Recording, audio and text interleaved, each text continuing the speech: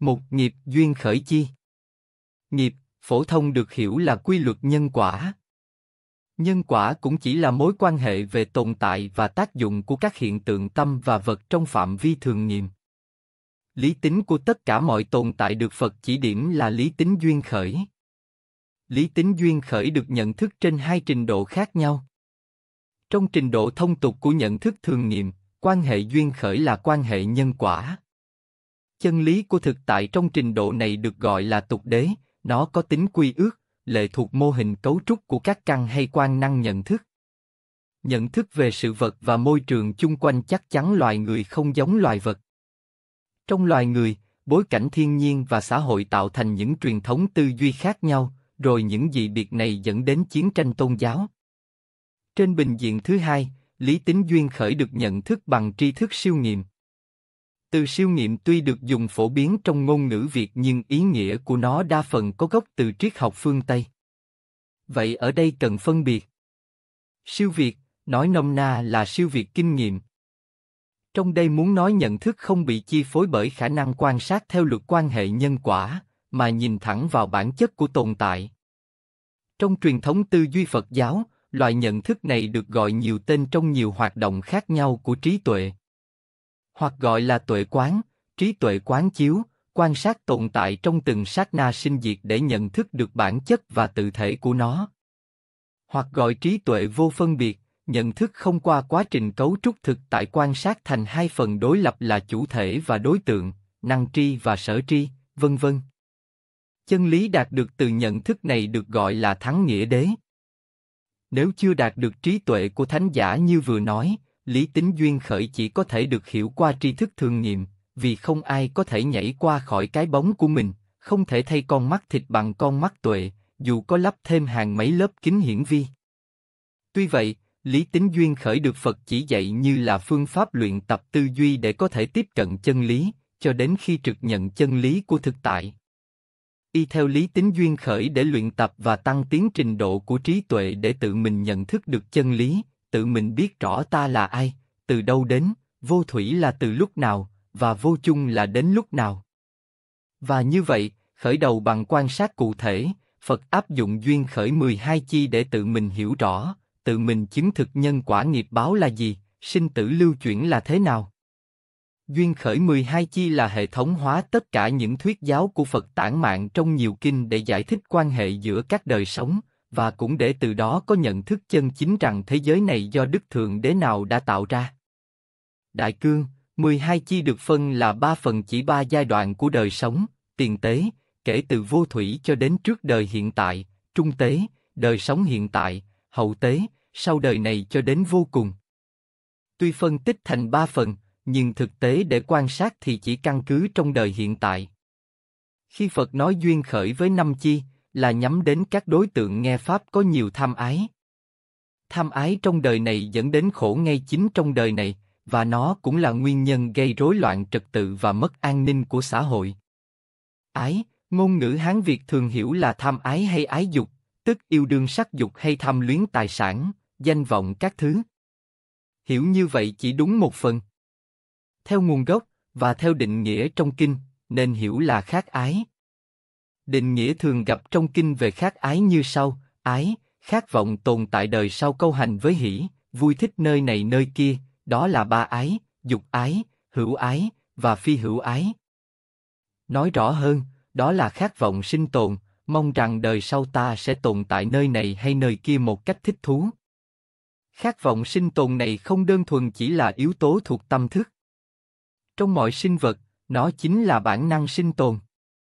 Trong các loại sinh vật chỉ có hai căn chẳng hạn, chỉ tồn tại với mạng căn và thân căn, không có ý căn nên ý thức không hoạt động, nhưng do khát ái này, tức bản năng sinh tồn, mà chúng tự động vươn đến những chất dinh dưỡng thích hợp để tồn tại. Bởi vì, xét theo bản chất, khát ái trước hết là yếu tố dị thuộc, di truyền của nghiệp đời trước kết hợp với di truyền của cha mẹ hiện tại. Ái là yếu tố phát triển từ danh sắc. Trong duyên khởi 12 chi, thức là yếu tố để thành danh sắc. Thức đây là nghiệp quá khứ, kết hợp với di truyền cha mẹ mà thành một hợp thể dị thuộc bất khả phân. Sự tan rã của hợp thể danh sắc đồng nghĩa với tan rã sự sống. Từ danh sắc phát triển lần lượt các cơ quan duy trì sự sống và hoạt động tri giác. Trước hết là mạng căn và thân căn. Nếu nghiệp di truyền chỉ ngang mức phát triển đó, vì di truyền vật chất hiện tại cũng chỉ thích hợp đến đó, sinh vật này tồn tại chỉ có hai căn. Nhưng chất liệu để kết hợp thức với vật chất di truyền, để phát triển thành danh sắc, chất liệu đó chính là ái. Các nhà duy thức thí dụ, nghiệp được tích lũy như hạt giống. Hạt giống nếu không được tẩm ướt thì không thể phát triển để nảy mầm. Cũng vậy, hạt giống nghiệp nếu không được tẩm ướt bằng nước khác ái, ái nhuận chủng tử, sẽ không nảy mầm thành sự sống. Các sinh vật hạ đẳng như loài hai căn, với loại chủng tử nghiệp như vậy được tẩm ướt bởi ái cũng chỉ phát triển đến mức như vậy. Vì chúng không có ý thức hoạt động nên chúng ta không dùng từ khác ái để chỉ, mà chỉ nói là khát vọng sinh tồn. Nếu khi hợp thể danh sắc của sinh vật này rã, những hạt giống nghiệp thích hợp nào đó sẽ được tẩm ướt bằng nước khác ái thích hợp để tái sinh vào một loài nào đó, có hay không có ý thức để gọi là tồn tại với khác ái hay chỉ đơn thuần là khát vọng sinh tồn. Trong các loài có ý thức, như loài người, danh sắc được tưới tiêu bởi khát ái để phát triển thành đủ các quan năng tri giác, trước hết là năm căn hay xứ, và cuối cùng là ý căn. Năm căn đầu thuộc yếu tố vật chất, phát triển từ danh sắc vốn là dị thuộc sinh. Bản chất là dị thuộc sinh, nhưng để tồn tại và phát triển, chúng cần thâu nạp các yếu tố vật chất ngoại giới, nên có thêm bản chất là sở trưởng dưỡng, yếu tố cần được tích lũy để tăng trưởng. Gọi là căn vì là cơ quan có năng lực tiếp thu đối tượng, cũng gọi là xứ vì là môi trường để đối tượng thích hợp xuất hiện. Khi cảnh hay đối tượng xuất hiện nơi căn, thức đồng thời cũng xuất hiện. Sự xuất hiện của tổ hợp ba này chỉ diễn ra trong một sát na rồi biến mất, để trở thành quá khứ. Ấn tượng được lưu giữ của tổ hợp ba này gọi là thức quá khứ vô gián, tức là quá khứ của sát na trực tiếp vừa biến mất. Thức quá khứ vô gián này trở thành ý căn. Nhận thức trong sát na này ý thức chưa xuất hiện vì chưa có ý căn. Trong sát na thứ hai tiếp theo, cảnh tiếp tục xuất hiện nơi căn và thức xuất hiện tạo thành tổ hợp ba. Ngay sát na này, do đã có thức quá khứ vô gián làm ý căn, ý thức bấy giờ có sở y do đó xuất hiện, hợp tác với tổ hợp ba tiến hành hoạt động nhận thức. Trong quá trình nhận thức, nhiều sát na liên tiếp diễn ra và các thông tin đều được ý thức thâu thập để cấu trúc thành một ảnh tượng và y trên ảnh tượng này mà tiến hành phán đoán. Động cơ thúc đẩy căn cảnh thức hoạt động hướng ra ngoại giới, trước hết do bản chất dị thuộc sinh, chúng bị thúc đẩy với khát ái, và thứ đến, cũng do bản chất sở trưởng dưỡng nên các căn cần được tích lũy để tồn tại và phát triển. Hoạt động của ý thức là tiếp nhận các nguồn thông tin rồi tổng hợp và phán đoán để quyết định lựa chọn. Quá trình của sự lựa chọn và quyết định này diễn tiến thành quá trình gây nghiệp. Như vậy, do duyên là ái mà có thủ. Hay nói theo cú pháp của duyên khởi, ái duyên thủ, được hiểu là do duyên là ái mà có thủ, hay từ duyên là ái mà có thủ. Thủ, Uddana, phổ thông được hiểu là chấp thủ, tức chấp chặt hay bám chặt lấy. Trong các kinh, thủ phần lớn được hiểu theo nghĩa này. Nói là phần lớn, vì tùy theo ngữ cảnh, nó cũng được hiểu theo nhiều nghĩa khác. Thứ nhất, được nhắc đến rất nhiều chung với uẩn, gọi là thủ uẩn. Thủ trong ngữ cảnh này được hiểu là phiền não. Vì chúng tồn tại do bởi phiền não, và chúng cũng là cơ chế cho phiền não tác động, như câu xá định nghĩa, ở đây, các thủ là các phiền não. Hoặc uẩn phát sinh từ thủ, nên nói là thủ uẩn, như nói, lửa rơm. Hoặc uẩn lệ thuộc thủ nên nói là thủ uẩn, như nói, vương thần. Hoặc các thủ phát sinh từ các uẩn nên nói là thủ uẩn, như nói, cây hoa. Trong ngữ cảnh thứ hai, bốn thủ, dục thủ cho đến giới cấm thủ. Ở đây từ này được hiểu là chấp chặt. Như nói, kiến thủ, chấp chặt quan điểm của mình, tự cho là đúng. Tuy vậy, trong cả ba đều có hàm ngụ duy nhất, tất cả thủ đều là duyên dẫn sinh hữu. Trong ngữ cảnh này, thủ cần được hiểu là chiếm hữu. Đây là nghĩa gốc của từ này, xét từ nguyên với ngữ căn của nó. Chiếm hữu, có hai mức độ. Thứ nhất, trong trình độ vật chất, mọi sinh vật trong thế giới này, dục giới, đều cần thâu nạp các yếu tố dinh dưỡng từ bên ngoài để tồn tại, đó là tính chất sở trưởng dưỡng của các căn. Các căn không được duy trì, sự sống sẽ không được tiếp tục. Thứ hai, trên bình diện tâm thức, hay nói chung là tinh thần hay tâm ý, mọi chiếm hữu đều nhắm duy trì và khuếch trương tự ngã. Trong trình độ sinh vật thấp, thân thể là tự ngã, tự ngã là thân thể, nó chiếm hữu để duy trì sự tồn tại của thân là như tồn tại của tự ngã. Trong trình độ tiến hóa ở loài người, tự ngã không chỉ đồng nhất với thân, mà còn bành trướng rộng vô hạn. Người cùng khổ, chỉ sở hữu một gia đình nhỏ bé và tài sản là mái tranh ọc ẹp, đó là tất cả tự ngã của nó. Người chiếm hữu càng lớn thế lực càng to, tự ngã càng lớn. Chiếm hữu một tỉnh, tự ngã lớn bằng một tỉnh.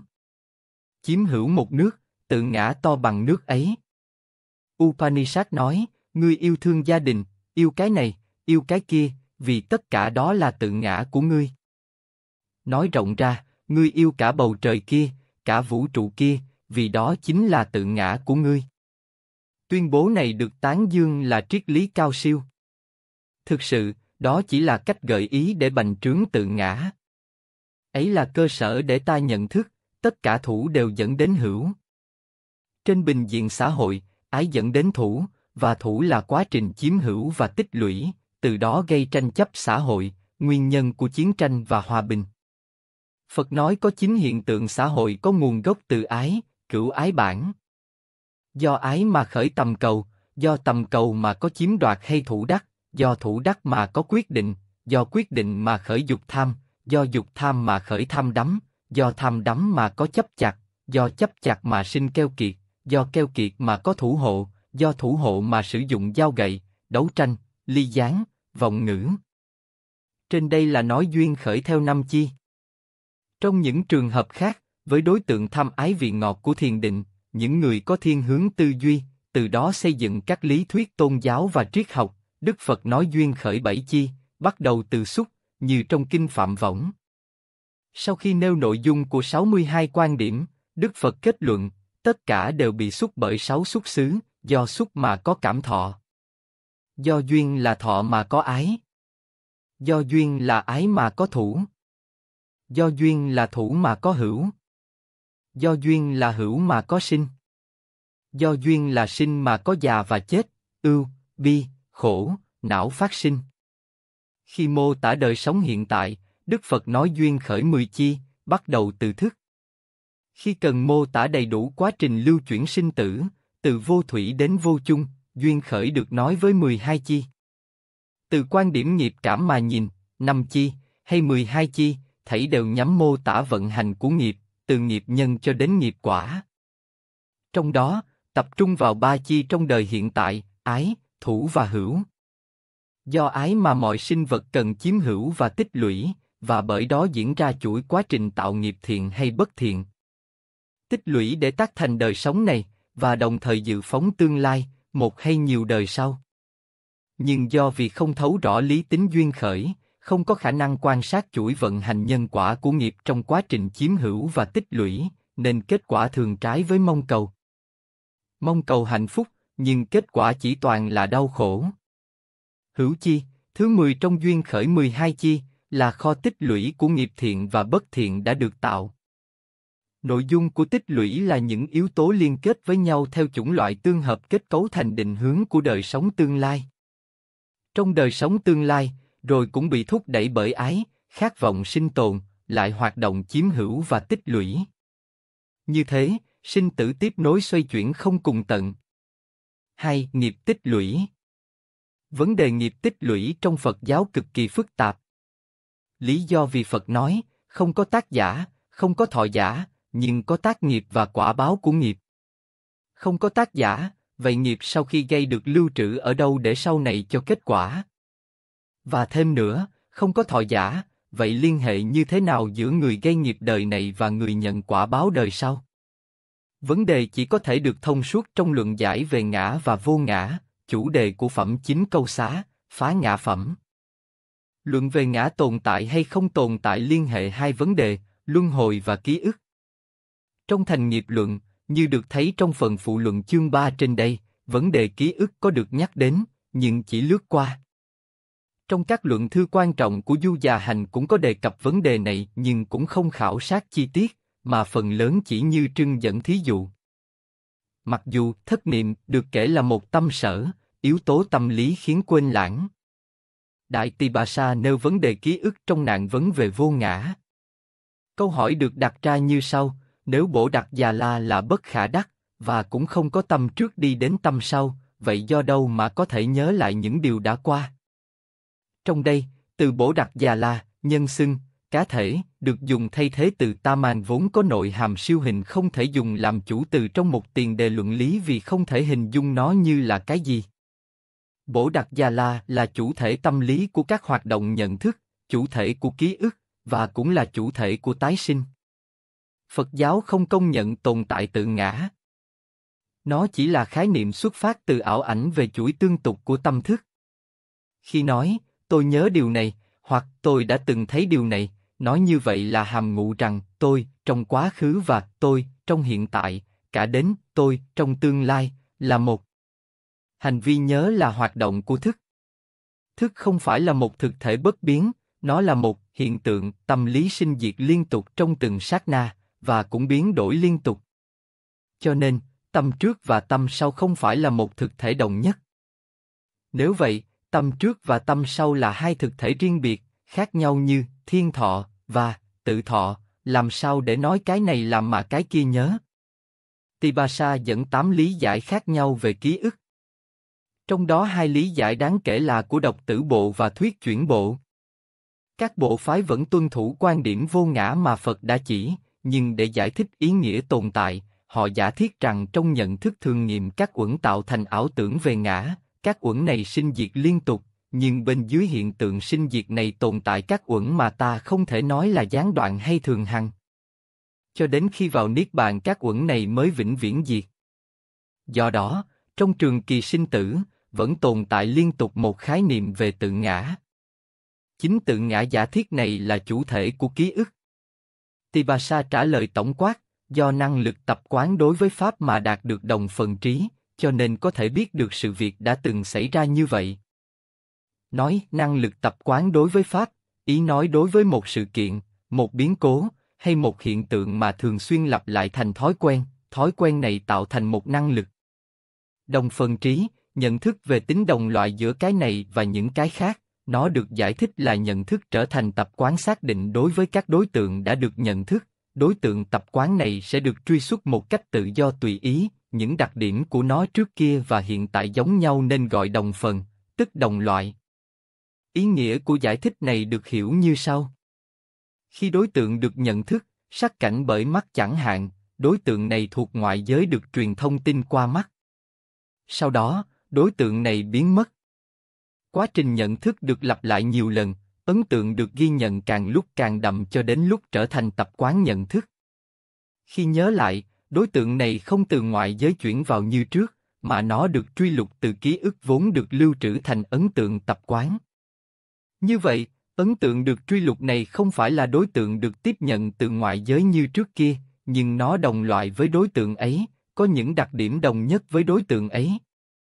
Cái được ta thấy trước kia và cái được ta nhớ lại hiện tại, cả hai không đồng nhất tự thể, nhưng do tính chất đồng loại và tương tự nên gây nên ảo giác cả hai là một. Cũng vậy, cái tôi là chủ thể khi thấy và cái tôi làm chủ thể khi nhớ, cả hai không đồng nhất thể, nhưng do tính chất đồng loại và tương tự nên tạo thành ảo giác về một cái tôi bất biến, trước sau như một. Nếu vậy, há có thể xác định rằng cái mà Devada thấy cũng là cái mà Yajada nhớ? Cái thấy và cái nhớ trong chuỗi tương tục của Devada và của Yajada không phải là một, cho nên cái mà Devadat đã thấy không xuất hiện trong cái mà Yajada đang nhớ. Hai chuỗi tương tục tâm có sở y trên hai chuỗi tương tục thân khác biệt. Như con nước đầu sông Hồng không phải là con nước cuối của sông Hương, trừ phi người ta múc nước từ sông Hồng đổ vào dòng chảy sông Hương. Điểm này có thể triển khai rộng hơn để suy diễn quá trình tích lũy nghiệp và dẫn đến kết quả đời sau theo tái sinh. Để triển khai, cần phân biệt hai loại ký ức, mà thành nghiệp luận nói là ký ức do tập tụng và ký ức do thấy và nghe. Nói rõ hơn một chút, ký ức do thấy và nghe là ký ức tạm thời, chỉ diễn ra trong hiện tại, vì thức bởi mắt và tai không hoạt động trong quá khứ và vị lai. Nhưng những hình ảnh được thấy và âm thanh được nghe có thể được ý thức ghi nhận và lưu giữ trong một thời gian dài. Loại thứ hai là ký ức học tập, tập tụng, được hình thành từ đối tượng của ý thức, như học thuộc một đoạn văn hay bài thơ, hoặc cố ghi nhớ nội dung của một bài giảng. Tibasa không phân biệt hai loại ký ức này. Tuy nhiên, trong đoạn giải thích hiện tượng vì sao quên rồi nhớ. Luận dẫn chứng cụ thể. Một người học trò học thuộc lòng bốn bộ sách Veda. Sau đó bỗng nhiên quên, không làm sao nhớ lại được. Anh trình thầy. Thầy hỏi, khi học, anh vừa học vừa làm gì? Anh đáp, vừa học vừa xe dây bằng tay. Thầy bảo, làm y như cũ.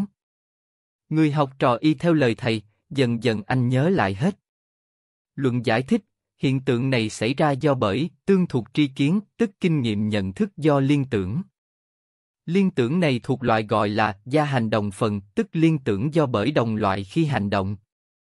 Luận chỉ nêu hiện tượng kinh nghiệm và đưa ra phân loại ký ức, nhưng không lý giải cơ chế hoạt động của loại liên tưởng này.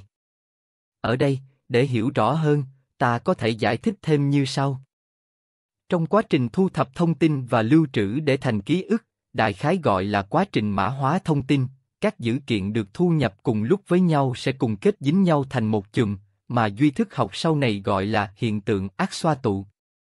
Ác xoa là hạt kim cang, khi rụng, chúng kết dính thành chùm với nhau. Khi truy xuất, chỉ cần lôi một cái lập tức tất cả cái khác được kết dính cũng xuất hiện. Trong thí dụ dẫn trên, khi học kinh, người học trò vừa học vừa xe dây, hai động tác cùng lúc thành hai loại dữ kiện được thu nhập cùng lúc. Khi truy xuất, do điều kiện tâm lý bị tác động thế nào đó, mà đầu mối của học sách không tìm thầy, người học trò bèn nắm lấy đầu mối xe dây mà truy xuất, anh kéo ra cả chùm, trong đó có luôn các dữ liệu của học sách. Đại Tibasa đã luận về quá trình hình thành ký ức đến như vậy, nhưng không tiến xa hơn được nữa. Vấn đề còn lại vẫn là, những dữ kiện ký ức được lưu trữ ở đâu? Hiển nhiên, trả lời là trong ý thức. Trả lời có vẻ đơn giản. Thật ra, tất cả chúng ta đều có kinh nghiệm ký ức, biết rằng ta đang học và đang làm, rồi ta sẽ nhớ lại những điều này với thức sẽ lưu giữ. Chỉ biết đến mức ấy, và xem như là chuyện tự nhiên không cần thắc mắc gì thêm.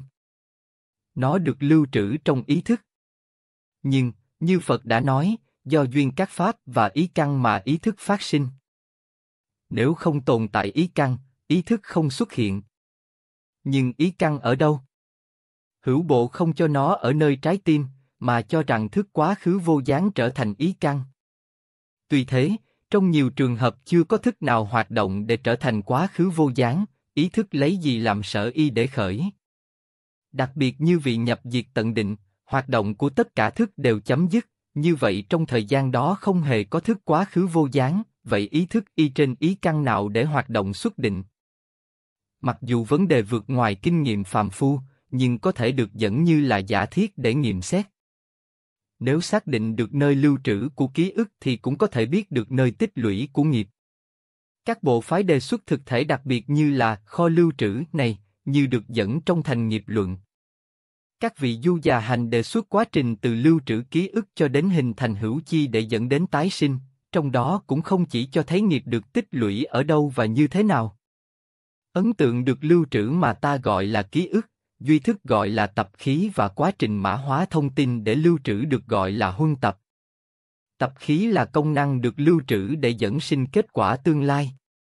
Tên gọi khác của nó là chủng tử, minh họa một cách hình tượng công năng tồn tại trong hạt giống để qua quá trình xử lý khi hạt giống hủy hoại công năng ấy sẽ hình thành kết quả.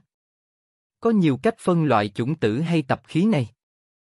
Nếu quan sát từ phương diện nghiệp quả và luân hồi, duy thức học phân biệt ba loại tập khí, danh ngôn, ngã chấp và hữu chi.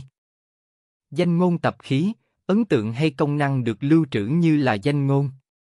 Danh ngôn ở đây chỉ cho ký hiệu của kết quả nhận thức được mã hóa để lưu trữ.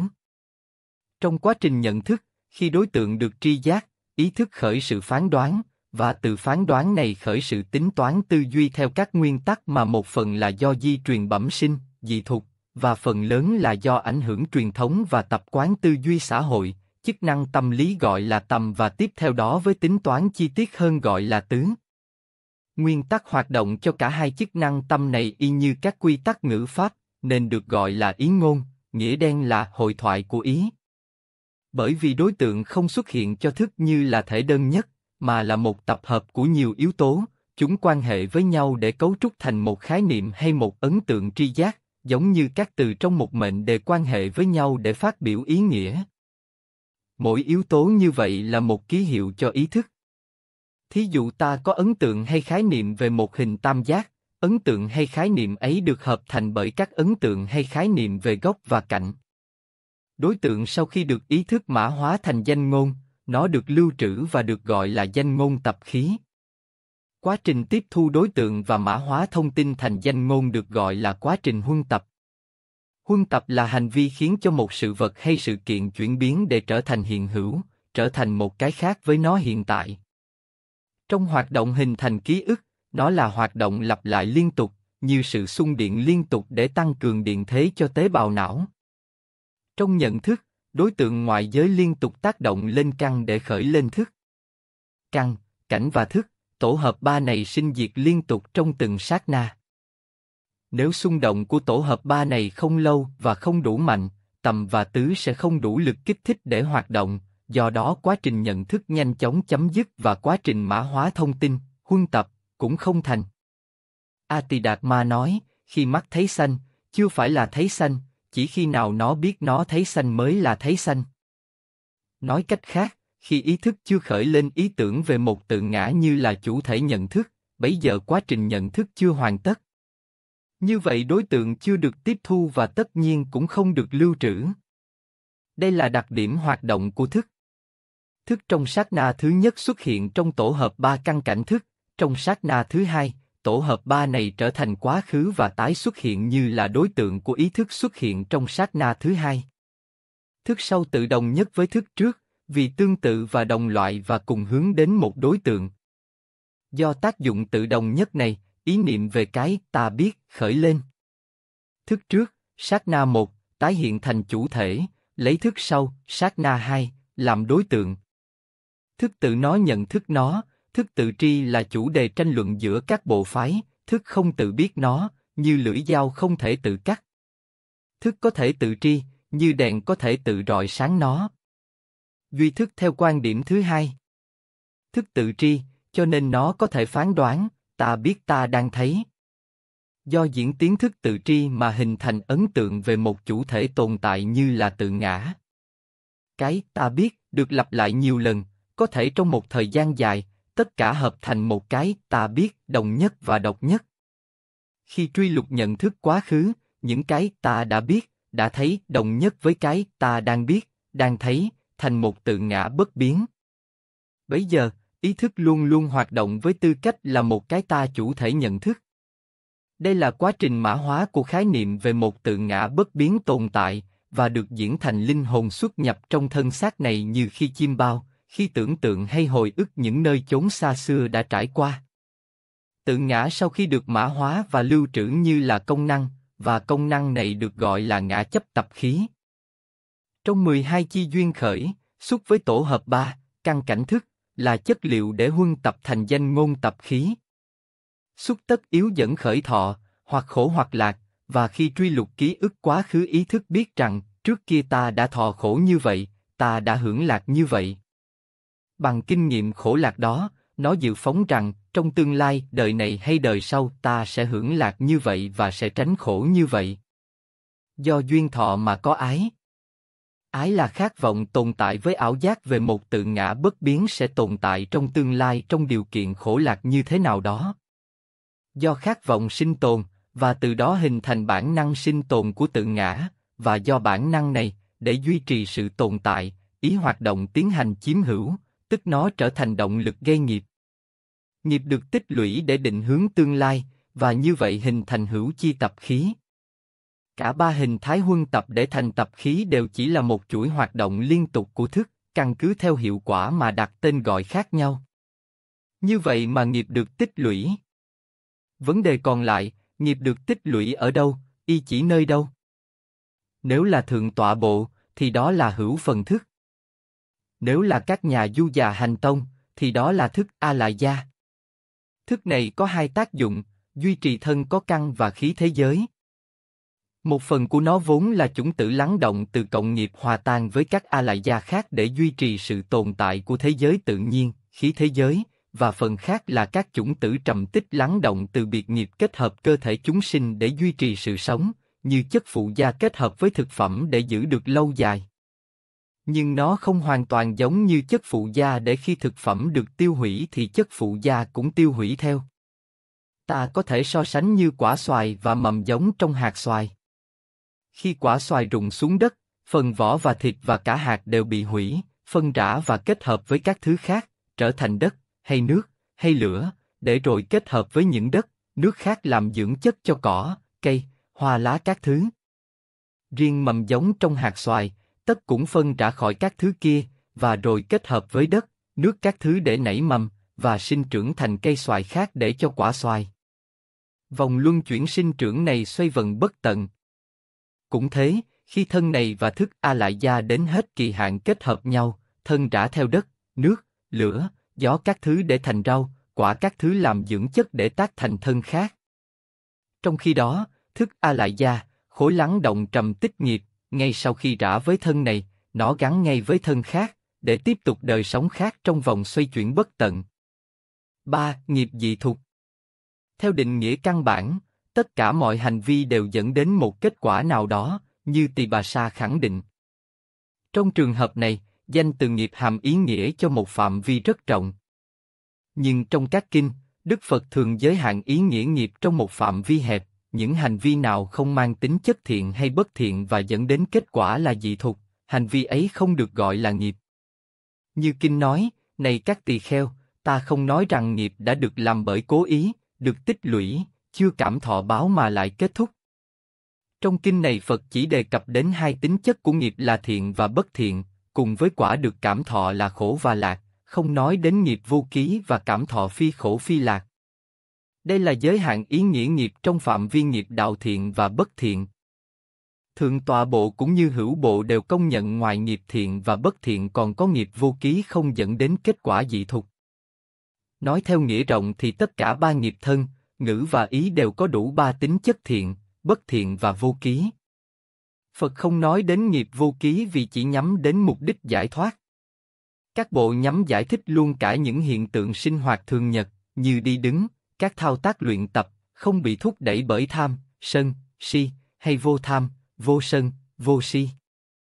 Hoặc định nghĩa theo A Tỳ Đàm tâm luận, nghiệp tác động bởi tư tương ưng với tâm thiện gọi là nghiệp thiện, với tâm bất thiện được gọi là nghiệp bất thiện, với tâm vô ký được gọi là nghiệp vô ký. Luận này cũng nói rõ, về thân biểu thiện và bất thiện, như đã biết, liên hệ đến bảy nghiệp đạo thiện và bất thiện, về thân biểu vô ký, thân bị tác động bởi tâm vô ký như các oai nghi lộ là các hoạt động đi, đứng, nằm, ngồi, hay công xảo xứ là các hoạt động có tính cách kỹ thuật hay nghệ thuật. Duy chỉ biểu nghiệp của thân và ngữ có vô ký, vô biểu của hai nghiệp này hoặc thiện hoặc bất thiện chứ không có vô ký, vì tâm vô ký yếu ớt không đủ để dẫn sanh nghiệp có thế lực mạnh, khi tâm thay đổi trạng thái, nó cũng thay đổi theo. Bản chất hành động của thân và ngữ có tính vật chất, thuộc sắc pháp. Loại hoạt động có tính vật chất bị bao phủ bởi phiền não và cũng phát sinh từ phiền não, được gọi là hữu phú vô ký, trái lại gọi là vô phú vô ký. Đây cũng là định nghĩa của Đại Tỳ Bà Sa về nghiệp vô ký của thân và ngữ. Những hành động này, tuy cũng bị tẩm ướt bởi tham ái, bị bao trùm bởi các phiền não, nhưng thế lực yếu ớt, không tồn tại lâu dài, do đó không dẫn đến quả dị thuộc Những hành vi như đi, đứng, nằm, ngồi, nếu liên hệ đến các nghiệp đạo thì không thể gọi là oai nghi lộ. Như bước đi với mục đích sát sanh hay trộm cướp, đi như vậy là gia hành của nghiệp đạo bất thiện về sát hoặc trộm. Công xảo sứ cũng vậy, luyện võ công với mục đích giết người hay để hành nghề cướp bóc, những thao tác này là gia hành của nghiệp đạo sát và trộm cướp. Hoặc như vẽ tranh hay tạc tượng Phật với tâm cung kính, mục đích để thờ phụng chứ không phải để trang trí, những thao tác này thuộc thiện sử trung hay diệu hành. Nếu luyện tập võ nghệ chỉ với mục đích dưỡng sinh, hoặc vẽ hay tạc tượng Phật để trang trí hay buôn bán đổi chác, những thao tác này hoặc thuộc quay nghi lộ, hoặc công xảo xứ, chúng thuộc loại vô ký. Thế nhưng, như các định nghĩa vừa dẫn trên, sắc pháp của thân nghiệp, tức những hành động bởi thân mà bản chất là vật chất, thuộc loại vô ký. Loại vô ký này được phân biệt hữu phú và vô phú. Những hành động bị chi phối bởi hữu thân kiến hay biên chấp kiến thuộc loại hữu phú vô ký, ngoài ra thuộc loại vô phú vô ký. Liên hệ hữu thân kiến, như đi đứng theo tự nhiên, hoặc vẽ, hoặc thao tác kỹ thuật chỉ để giải trí, đây là những nghiệp thuộc vô phú vô ký. Nếu đi đứng hay những thao tác vì mục đích nuôi thân, duy trì thân, hay làm đẹp thân, những hành động này thuộc loại hữu phú vô ký, vì chúng nhất định bị tác động bởi ái, như Tỳ Bà Sa nói, được tẩm ướt bởi ái. Ái được nói ở đây là chi thứ 8 trong 12 chi duyên khởi mà như đã nói trên, được hiểu là khát ái, tức khát vọng sinh tồn hay bản năng sinh tồn. Hành động vì mục đích sinh tồn, tuy bị tẩm ướt bởi ái, nhưng không thành nghiệp đạo, vì không gây ích lợi hay tổn hại cho mình và cho chúng sinh khác mà hậu quả tồn tại cho đến đời sau. Nói chung, đi đứng hay thao tác như là cử chỉ hay cử động tự nhiên chỉ có thể tạo thành tập quán của thân hay ngữ trong đời hiện tại, chúng có thể là ký ức dài hạn nhưng chỉ giới hạn trong đời này, khi thân này rã, loại ký ức này cũng mất. Chúng được gọi là nghiệp vô ký, không dẫn đến quả dị thục. Dị thục, sự nấu chín, sự chín mùi, chỉ cho kết quả của nghiệp. Từ thông dụng trong Hán dịch gọi là báo hay quả báo, cũng có khi gọi là báo ứng. Viết ca do gốc động từ là pa, nấu chín, với tiếp đầu ngữ vi chỉ trạng thái biến đổi chi tiết, hoặc chỉ có nghĩa là biến đổi. Y theo nghĩa này mà có giải thích rằng tố từ dị trong dị thuộc hàm ba nghĩa, a, dị thời, trạng thái nấu chín chỉ xảy ra khi nhân và quả khác thời gian, b, dị loại, trong trạng thái nấu chín nhân và quả không đồng loại, vì nhân hoặc thiện hoặc bất thiện nhưng quả thì vô ký, c, biến dị, sự biến đổi trạng thái từ nhân đến quả. Trong ba nghĩa này, nghĩa thứ ba là chính. Quá trình nấu chín thường được dẫn làm thí dụ cho các trạng thái biến đổi từ nhân đến quả. Như hạt giống được gieo, tự nó không thể biến đổi thành quả, mà phải qua quá trình xử lý, kết hợp với các điều kiện thích hợp như đất, nước, ánh nắng. Các yếu tố này kết hợp với hạt giống, cùng tác động và cùng tự hủy để biến đổi từ trạng thái này đến trạng thái khác. Cũng vậy, nghiệp được thực hiện bởi thân và ngữ, là những hoạt động y trên sắc pháp, gọi là sắc nghiệp, thuộc sắc uẩn trong năm uẩn. Sắc nghiệp thuộc sắc uẩn này nếu không được kết hợp với các uẩn khác, nó chỉ tồn tại trong một thời gian rồi hủy theo sắc. Cho nên, Tỳ Bà Sa nói, gây nhân dị thuộc do bởi cả năm quẩn kết thành quả dị thuộc cũng do bởi đủ cả năm quẩn. Câu xá giải thích chi tiết, ở dục giới, một, có lúc, một quẩn làm dị thuộc nhân chiêu cảm một quả, đó là hữu ký đắc và các tướng của nó như sinh, hai, có lúc, hai quẩn làm dị thuộc nhân cùng chiêu cảm một quả, đó là các nghiệp thân nữ thiện, bất thiện và các tướng của nó như sinh, ba, có lúc bốn uẩn làm dị thuộc nhân cùng chiêu cảm một quả, đó là các tâm, tâm sở pháp thiện, bất thiện và các tướng của nó như sinh. Khẳng định của Tỳ Bà Sa nhắm trả lời lý giải của những luận sư thí dụ bộ, các vị này nói rằng, ngoài tư, không có cái gì là nhân dị thục. Ngoài thọ, không có cái gì là quả dị thục. Sở dĩ các vị này nói như vậy vì theo lời Phật nghiệp do tư và tư sở tác, và Phật cũng nói nghiệp đã tạo và được tích lũy nếu chưa cho cảm thọ thì cũng không diệt, như đã dẫn trên. Ý nghĩa này có thể được diễn giải như sau. Như Tibasa đã nói, thậm chí các hoạt động như là nghiệp vô ký vẫn bị tẩm ướt bởi ái, vì bị tác động bởi khát vọng sinh tồn. Do bản năng sinh tồn này mà con kiến đi tha mồi, con ong đi hút nhụy. Nhưng chúng không đủ trình độ ý thức để hoạt động theo phiền não hữu thân kiến và biên chấp kiến, tức ý thức dự phóng với sự tồn tại tương lai, đời này cho đến đời sau, của thân này, dao động giữa hai thái cực, với cực đoan thường kiến nó dự phóng rằng thân này thường hằng, ở ngay trong đời hay trong thiên giới, với đoạn kiến nó biết thân này sẽ phải trả và do đó phải hưởng thụ những gì đang có. Với những dự phóng ấy, mọi hành động đều nhắm đến trạng thái an lạc của thân và tâm trong đời này hoặc cho cả trong đời sau. Nó sát sanh, hay trộm cướp, vì nghĩ rằng những gì chiếm được từ các hành vi này sẽ mang lại lợi lạc cho nó, và tránh những gì bất lợi sẽ xảy ra trong tương lai. Nói tóm, hành động chỉ nhắm một hay hai mục đích, hưởng thụ khoái lạc, hay tránh xa tai họa. Nhưng do không nhận thức rõ bản chất của tồn tại mà nó nhầm lẫn, làm những điều tưởng sẽ mang lại lợi lạc nhưng kết quả thường là không như ý muốn. Vậy thì, nghiệp được thực hiện bởi động cơ thiện hay bất thiện chỉ nhắm đến mục đích duy nhất là cảm thọ, cho nên thí dụ sư nói, ngoài thọ không có cái gì là quả dị thuộc. Để nhận được cảm thọ khổ hay lạc, cần phải có công cụ và hoàn cảnh. Thân và tâm, nói chung là cả năm quẩn đều là công cụ để hành khổ hay để cảm thọ lạc.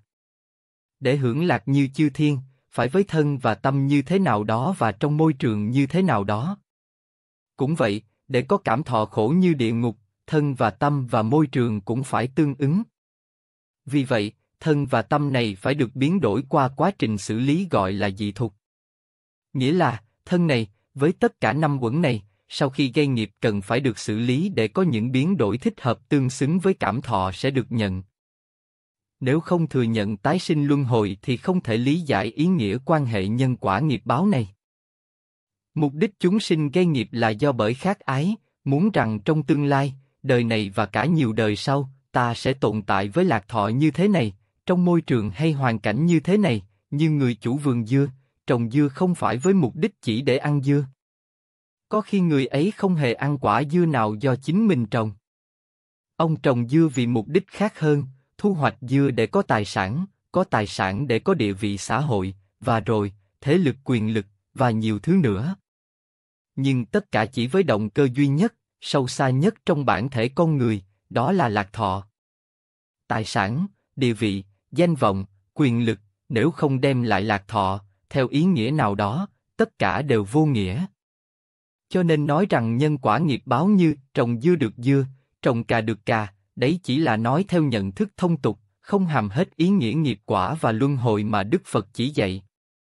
Tuy nói là theo nhận thức thông tục, thế nhưng trong kinh, và nhất là trong các mẫu chuyện đạo, chuyện cổ Phật giáo, như truyện tiền thân Đức Phật, các thánh đệ tử, và nhiều hạng người khác, trong các chuyện này kể, như giết người sẽ bị quả báo bị giết lại, hay ít nhất tuổi thọ vắng các thứ.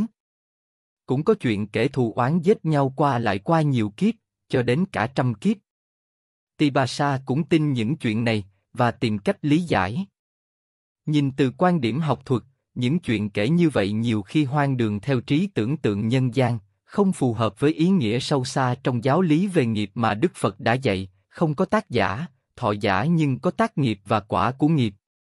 Cũng theo nhận thức thông tục về nghiệp, trồng dưa được dưa, trồng cà được cà, cho nên ngoài quả dị thục, một số bộ phái lập thêm các loại quả khác nữa để giải thích. Như Tibasa nói, do ba quả mà thiết lập mười nghiệp đạo. Ba quả này là dị thuộc quả, đẳng lưu quả và tăng thượng quả. Tibasa giải thích. A, à, quả dị thuộc, như sát hại chúng sinh, do lặp lại hành vi nhiều lần, sau khi chết, sinh vào nại lạc ca, địa ngục, bàn sinh, cầm thú, hoặc quỷ thú, với thân thể và cảm thọ tương ứng của các loại này. B. Quả đẳng lưu, từ những nơi này sau khi chết sinh trở lên trong loài người, nhiều bệnh tật, tuổi thọ vắng. Ý nghĩa này có thể hiểu là từ địa ngục, cầm thú, hoặc ngạ quỷ mà sinh trở lại trong loài người, vì sát sinh nhất định phải đọa vào một trong ba đạo này. Gọi là đẳng lưu, vì quả tương tự nhân và thuộc cùng loại với nhân. Nhân là sát sinh, do bởi cắt ngắn tuổi thọ của chúng sinh khác nên quả cũng tương tự là tuổi thọ vắng. Các nghiệp đạo khác đại loại cũng được suy diễn như vậy. Đây chính là nghĩa gieo nhân loại nào tất hưởng quả thuộc loại đó. C. Quả tăng thượng, tăng thượng quả đây được hiểu là thêm lên hay phụ trội. Tức do bởi nhân đã gây mà sinh vào hoàn cảnh thuận hay nghịch với các vật thọ dụng tăng gia hay giảm thiểu, như sinh vào nơi sương tuyết quá lạnh hay sa mạc khô cằn, là tăng mức cảm thọ của dị thục. Nơi khác, tỳ bà sa cũng như câu xá, có loại nghiệp cho đủ năm quả, có loại cho bốn hoặc ba. Năm quả, do thêm hai loại quả nữa là sử dụng và ly hệ. Quả sử dụng là kết quả có được do nhân lực. Quả ly hệ thuộc vô lậu, do diệt phiền não mà đạt được. Trong đó, loại nghiệp cho bốn quả, chỉ hành vi thuộc tính vô lậu. Vì nghiệp vô lậu dẫn đến niết bàn, không dẫn đến tái sinh nên không có quả dị thuộc. Loại nghiệp cho ba quả đó là nghiệp vô ký, cho kết quả trong đời hiện tại, không dẫn đến đời sau, nên không có dị thuộc, cũng không dẫn đến niết bàn nên không có ly hệ. Như định nghĩa về dị thuộc nói trên, nghiệp được gây không cho quả ngay trong cùng sát na. Tibasa nói, không có trường hợp nào mà nghiệp được tạo trong sát na này tức thì cho quả dị thuộc ngay trong sát na đó hay sát na tiếp theo. Vì nó chỉ được chính trong dị loại, và do dẫn phát trực tiếp. Do bởi ý nghĩa này, căn cứ thời gian cho quả và thể loại cảm thọ dị thuộc, nghiệp tổng quát được phân thành phạm trù định và bất định. Trong đó định nghiệp có ba loại, thuận hiện thọ, thuận sinh thọ và thuận thứ thọ. Nghiệp bất định không xác định thời gian cho quả cũng không xác định thể loại dị thuộc. A. thuận hiện nghiệp, hay nói đủ, thuận hiện pháp thọ nghiệp, nghiệp dẫn đến kết quả phải được cảm thọ, khổ hoặc lạc, ngay trong đời hiện tại. Đây chỉ nghiệp cho quả dị thuộc, do đó cảm thọ này phải nhận được từ sự biến đổi của thân thể, hay một bộ phận của thân thể, trong đời hiện tại. Thân chúng sinh trong đời hiện tại được gọi là pháp dị thục, vì là kết quả của nghiệp quá khứ kết hợp với di truyền chủng loại. Thân này gồm các bộ phận gọi là dị thục sinh, sản phẩm của dị thục. Nói tổng quát, trong thân chúng sinh, năm căn và cả sáu thức đều là quả dị thục. Thế nhưng, không phải mọi tổn thương một hay nhiều bộ phận trong thân thể, hoặc thân hoặc tâm, đều là do nghiệp. Trong kinh, khi có khổ hành giả Svaka hỏi Phật về khổ nhận được hiện tại có phải tất cả đều do bởi nghiệp đã làm, Phật trả lời, có tám nguyên nhân dẫn đến khổ hiện tại, trong đó nghiệp chỉ là một. Nguyên nhân có thể do cơ thể không điều hòa, hoặc mang vác nặng, hoặc bị rắn rết, hoặc bị cướp tập kích. Cho nên, những tai họa xảy ra không nhất thiết do nghiệp đã gây, mà có thể do bởi hành vi bất cẩn, hoặc do nhiều nguyên nhân khác mà không phải do nghiệp. Tibasa cũng dẫn một số chuyện tích để mô tả ý nghĩa của nghiệp thuận hiền thọ. Những chuyện kể này có tính cách hư cấu hơn là sự thật. Có thể là những chuyện ngụ ngôn, cổ tích, như cọp biết nói, mà các luận sư này tin là sự thật. B. Thuận sinh nghiệp, hay thuận thứ sinh thọ nghiệp, nghiệp dẫn đến quả gì thuộc ngay trong đời tiếp theo. C. Thuận hậu nghiệp, hay thuận hậu sinh thọ nghiệp, nghiệp dẫn đến quả gì thuộc từ đời thứ ba trở đi. D. Nghiệp bất định. Thuộc định nghiệp là những hành vi bị tác động bởi phiền não cực mạnh nếu là bất thiện, hoặc bởi tâm thuần tịnh mãnh liệt nếu là thiện, hoặc những hành động được lặp lại thường xuyên. Thêm nữa, đối với các bậc thánh nhân và đối với cha mẹ, gây tổn hại hay hữu ích đều thành định nghiệp. Ngoài ra, thuộc bất định nghiệp. Theo quan điểm của Tỳ Bà Sa, định nghiệp không thể chuyển hướng. Nghiệp thuận hiện thọ nhất định cho quả trong đời này không thể trì hoãn để chuyển sang đời khác. Nghiệp thuận sinh và thuận hậu thọ cũng vậy, không thể chuyển đời này sang đời khác. Quan điểm khác, như của các vị thí dụ bộ, bất cứ nghiệp nào cũng có thể chuyển đổi, ngay cả nghiệp vô gián cũng có thể chuyển. Ý muốn nói là có thể triển hạn thời gian, như người khất nợ. Định nghiệp, như món nợ phải trả bằng vật loại được quy định nhất định và thời gian xác định, nhưng trong trường hợp đặc biệt, có thể triển hạn. Phật nói thuận hiền pháp thọ, là căn cứ thể loại dị thuộc mà nói chứ không căn cứ thời gian. Quả dị thuộc cảm thọ trong hiện tại được gọi là thuận hiện thọ. Nghiệp bất định như món nợ không quan trọng, không xác định thời hạn, cũng không xác định vật loại nhất định, có thể trả bất cứ lúc nào thuận tiện và bằng hình thức nào cũng được theo giá trị yêu cầu. Như Phật đã nói, nghiệp nếu chưa cho quả thì không diệt. Điều này đặc biệt chỉ cho định nghiệp. Đối với các vị chứng thánh quả, tùy theo bậc mà nghiệp được chuyển hoặc diệt. A. À, thứ nhất, trong giai đoạn quyết trạch phần với bốn thiện căn như noãn, đảnh, nhẫn và thế đệ nhất, trong đó, như câu xá nói, khi chứng thiện căn nhẫn, vị ấy nhất định không đọa vào các cõi xấu. Tức là, nếu có định nghiệp phải đọa địa ngục, ngạ quỷ, hay cầm thú, vị ấy phải nhận quả cảm thọ dị thục cho đến sạch nghiệp mới chứng đắc thiện căn này. Như trường hợp vua Asa thế, do định nghiệp vô gián, nên sau khi nghe Phật thuyết pháp chỉ có thể phát sinh tín tâm chứ không thể đắc thánh quả dù thấp nhất. Câu xá cho thí dụ, như người sắp sửa rời xa quê hương, tất cả chủ nợ đều đứng ra cản trở, nếu các chủ nợ này có thế lực mạnh hơn con nợ. B. Những vị sắp chứng quả bất hoàn, sau khi mạng chung sẽ không còn tái sinh dục giới này nữa, cho nên tất cả định nghiệp thuộc giới địa này, trừ thuận hiện nghiệp, phải được cảm thọ dị thuộc đầy đủ. Chỉ khi nào cảm thọ dị thuộc đầy đủ các định nghiệp này, vị ấy mới chứng quả. Nói trừ thuận hiện nghiệp, tức những nghiệp được tạo trong đời này trước khi chứng thánh quả mà bản chất là cảm thọ dị thuộc trong đời này. Định nghiệp này trả trước hay sau khi đắc thánh quả đều có thể. C. Những vị sắp sửa chứng quả A-la-hán, tất cả định nghiệp thuộc cả ba giới đều phải cảm thọ dị thuộc đầy đủ. Vì sau đời này vị ấy không còn tái sinh vào đời nào nữa. Trừ thuận hiện nghiệp, cũng như vị chuẩn bị chứng quả bất hoàn Với nghiệp bất định, tất cả đều trả trong đời này, hoặc nếu không hội đủ điều kiện thì không cần trả. Như người sắp đi xa mà chủ nợ không ở cùng xứ, hay thấy không cần thiết, nên không đến cản trở, hoặc chủ nợ không có thế lực mạnh hơn con nợ. 4. Cộng nghiệp Nghiệp được thực hiện hoặc bởi cá nhân, hoặc tham gia cùng tập thể, hậu quả do vậy cũng có tính cách cá nhân và tập thể. Vấn đề này không có gì đặc biệt trong câu xá, ý nghĩa cũng giống như trách nhiệm cá nhân hay tập thể theo phán đoán thông thường. Thí dụ, trong quân đội, cùng sát hại đối phương như nhau, nhưng tâm trạng khác nhau và trách nhiệm đối với hậu quả cũng khác nhau. Câu xá nói, sát nghiệp đi theo tất cả như chính đi theo một tác giả, vì cũng chung một tác nghiệp. Xét theo mục đích, những người này là kẻ gia hành của người kia. Nếu người bị bức bách tham gia, nó cũng thành tội sát chăng? Ngoại trừ người ấy xác định rằng, nhẫn đến vì lý do cứu mạng tôi cũng không sát sanh, rồi sau đó tham gia. Điểm đặc biệt trong luận thuyết nghiệp của Tỳ Bà Sa là nâng ý nghĩa nghiệp cảm lên hàng vũ trụ luận, thay thế vai trò sáng tạo của Thượng Đế. Cộng nghiệp bao hàm phạm vi rộng hơn nghiệp tập thể. Nghiệp tập thể như câu xá đề cập dẫn trên là nghiệp cá nhân nhưng cùng hành động chung, nó thuộc loại biệt nghiệp, chỉ ảnh hưởng đến từng cá nhân tham gia trong vận động chung. Theo ý nghĩa này, Tỳ Bà Sa nói, các loại hữu tình sinh do bởi biệt nghiệp, các loại phi tình, thế giới ngoại vật, phát sinh do bởi cộng nghiệp. Không phải do bởi các nguyên nhân sai lầm như tự tại. Ivara mà hán dịch là tự tại, nghĩa chính là ông chủ.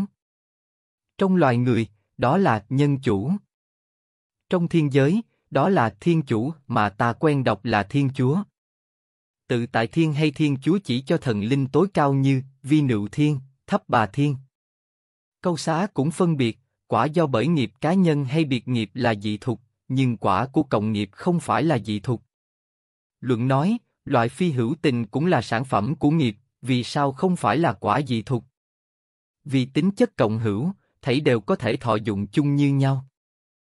Nói là quả dị thục thì không có sự thọ dụng chung như vậy.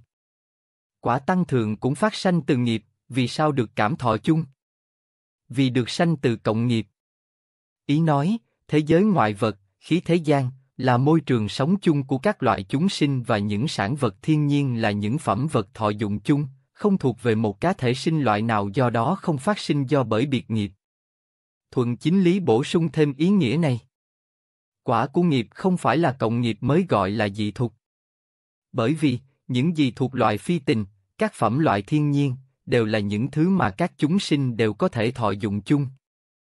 Ngoài giới là quả của cộng nghiệp không thuộc cá thể nào, do đó khi quốc vương băng hà, sông núi mà xưa kia vốn được xem là sở hữu của ông, bây giờ vẫn tiếp nối tồn tại không suy giảm chút nào. Cũng vậy, vì không phải là do nghiệp cá thể cho nên từ nhà cửa, vườn tược, cho đến núi sông, mọi người đều thọ dụng như nhau. Từ cộng nghiệp mà các nhà duy thức học Trung Hoa thường nói đến không hoàn toàn đồng nhất với từ cộng nghiệp được nói trong Tỳ Bà Sa và Thuận Chính Lý. Trong đây cần phân biệt nghiệp tập thể và nghiệp cộng đồng. Nghiệp tập thể, nhiều người cùng hành động chung một mục đích như quân đội hay các hành vi đồng lõa khác. Trong khi nghiệp cộng đồng là nhiều chúng sinh, cá biệt tạo nghiệp, nhưng những nghiệp này có bản chất giống nhau đó tạo ra một thiên nhiên hay một môi trường sống chung. Như thuận chính lý giải thích, do cộng nghiệp tịnh mà trong thiên nhiên có những thứ như hoa sen, do cộng nghiệp bất tịnh mà sinh thứ gai gốc, xú uế.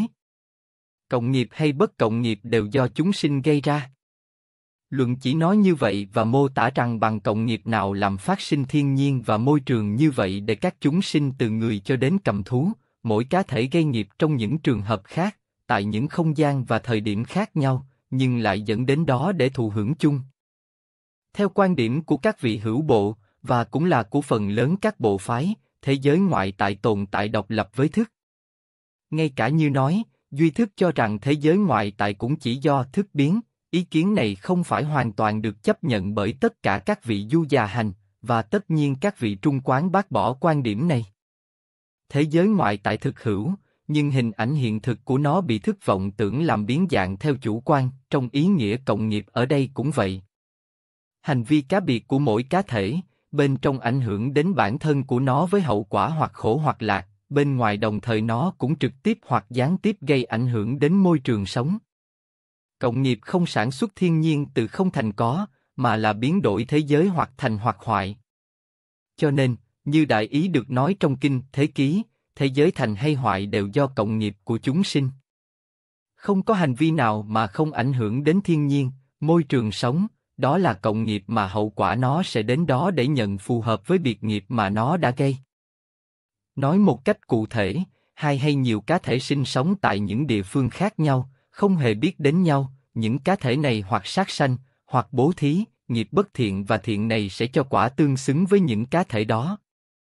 Đồng thời, hành vi sát sanh hay bố thí của những cá thể này cũng góp phần làm biến đổi thế giới trong một tương lai nào đó tại một khu vực nào đó, hoặc chiến tranh hoặc hòa bình, rồi sau này khi tái sinh vào nơi đó để hưởng cảm thọ thích hợp hoặc khổ hoặc lạc tương xứng. Nghiệp quả và nghiệp lực như vậy, quả thật bất khả tư nghị.